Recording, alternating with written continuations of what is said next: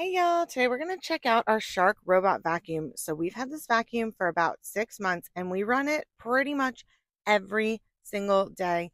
We have two kids and a dog that sheds, so it has been our saving grace. We've had other brands of robot vacuums before, and while they did pick up things and they did work, having the intelligent IQ system that actually goes in a planned pattern is a game changer. What's nice about it too is that if it has to miss a spot because you have an object in a way, it knows and it comes back and gets around it on the backside.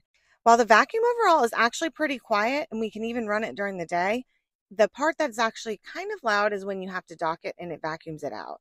It doesn't last for very long, so it's a pretty quick loud burst of noise and then it's quiet again.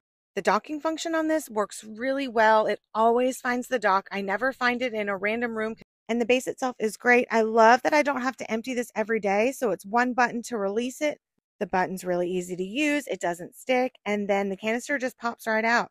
Then it's one button to empty the canister. You don't ever have to touch the dirt. This canister holds a lot and it will pick up so much more than you realize.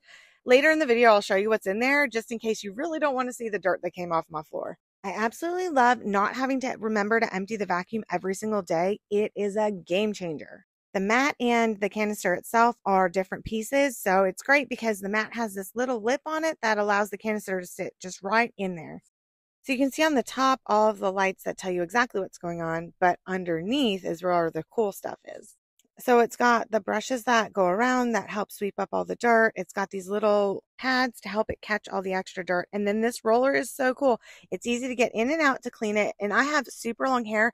I will say we do not have to clean this very often, which is very cool.